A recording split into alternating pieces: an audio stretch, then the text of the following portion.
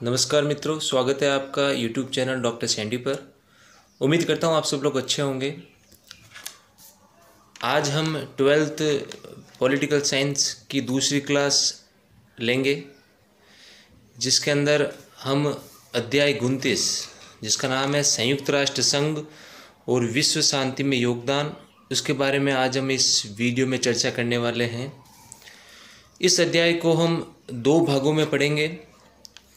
सबसे पहले इस अध्याय का जो नाम है, वो है संयुक्त राष्ट्र संघ, और उसका विश्व शांति में क्या योगदान है। हम बात करते हैं संयुक्त राष्ट्र संघ की, जिसको अंग्रेज़ी भाषा में यूनाइटेड नेशन यानी यूएन भी कहते हैं। तो शुरू करते हैं मित्रों। सबसे पहले संयुक्त राष्ट्र संघ अथवा यूनाइटेड नेशन ये जो नाम इसको मिला है वो नाम दिया है अमेरिका के जो तत्कालीन राष्ट्रपति थे, फ्रैंकलिन डी रूजवेल्ट। उन्होंने ये नाम दिया था संयुक्त राष्ट्र संघ या यूनाइटेड नेशन। संयुक्त राष्ट्र संघ की स्थापना 24 अक्टूबर 1945 को हुई थी। इसीलिए प्रत्येक वर्ष 24 अक्टूबर को संयुक्त राष्ट्र संघ, संयुक्त राष्ट्र दिवस के रूप में मनाया जाता है। हर वर्ष चौबीस अक्टूबर को संयुक्त राष्ट्र दिवस के रूप में मनाया जाता है। संयुक्त राष्ट्र संघ की जो स्थापना हुई थी, उसमें पाँच प्रमुख देशों ने अपना योगदान दिया था। मित्रों, जो संयुक्त राष्ट्र संघ की स्थापना हुई, उसमें पाँच प्रमुख जो देश थे, अमेरिका, रूस, चीन, फ्रांस तथा ब्रिटेन ने अपना प्रमुख योगदान इसके अंदर दिया था।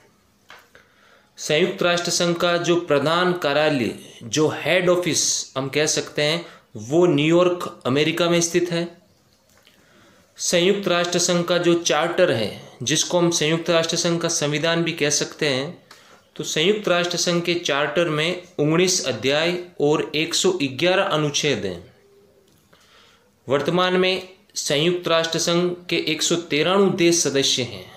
मित्रों, वर्तमान में, अपने संसार में, विश्व में देशों की संख्या तो एक से कहीं ज़्यादा है, लेकिन संयुक्त राष्ट्र संघ के जो सदस्य देश हैं, वो एक देश ही हैं और एक देश जो सबसे अंतिम में, एक देश जो सदस्य बना था, वो था दक्षिण सूडान, जो बना था सन 2011 के अंदर। यानी संयुक्त राष्ट्र संघ का सबसे अंतिम में एक सौ देश जो सदस्य बना था, वो था दक्षिण सूडान, जो बना था सन 2011 में। अगर किसी भी नए देश को संयुक्त राष्ट्र संघ का सदस्य बनाना है, अगर किसी नए देश को संयुक्त राष्ट्र संघ का सदस्य बनना है तो सुरक्षा परिषद, जो संयुक्त राष्ट्र संघ का एक अंग है, प्रमुख अंग है सुरक्षा परिषद की सिफारिश पर महासभा द्वारा ही किसी नए देश को संयुक्त राष्ट्र संघ का सदस्य बनाया जाता है। अब देखो, नए सदस्य बनाने में संयुक्त राष्ट्र संघ के दो प्रमुख अंगों की विशेष भूमिका होती है। पहला अंग सुरक्षा परिषद, दूसरा अंग महासभा। अगर सुरक्षा परिषद सिफारिश करेगी नए देश बनाने की तो ही महासभा किसी दूसरे नए देश को संयुक्त राष्ट्र संघ का सदस्य बनाएगी। फिर मित्रों हम पढ़ते हैं संयुक्त राष्ट्र संघ की सदस्यता के बारे में मेंबरशिप के बारे में इसकी। संयुक्त राष्ट्र संघ है, उसके दो प्रकार के सदस्य हैं। पहले फ़र्स्ट नंबर, वे सदस्य जो प्रारंभ में, शुरुआत में ही संयुक्त राष्ट्र संघ में शामिल हो गए थे, तथा जिन्होंने सैन फ्रांसिस्को सम्मेलन में संयुक्त राष्ट्र संघ के चार्टर या संविधान पर अपने हस्ताक्षर कर दिए थे। ऐसे कुल सदस्य इक्यावन देश थे प्रारंभ में और इक्यावनवा सदस्य देश बना था पोलैंड। यानी ये ऐसे इक्यावन देश थे जो संयुक्त राष्ट्र संघ के साथ शुरुआत से ही जुड़े हुए थे।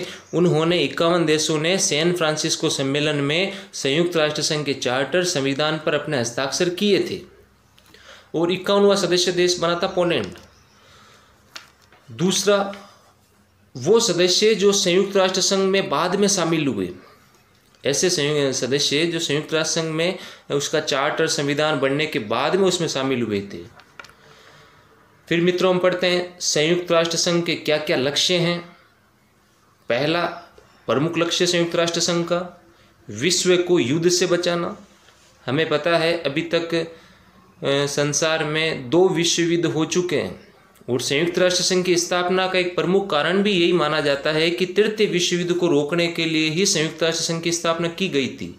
तो संयुक्त राष्ट्र संघ का जो प्रथम लक्ष्य माना जाता है, वो यही है कि विश्व को, संसार को युद्ध से बचाना।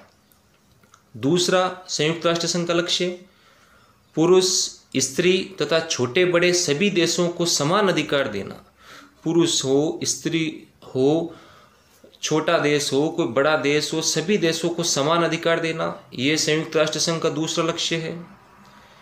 तीसरा संयुक्त राष्ट्र संघ का लक्ष्य है, विश्व की सामाजिक उन्नति हो, सामाजिक विकास हो, तथा विश्व के लोगों को एक अच्छा जीवन स्तर प्रदान करना।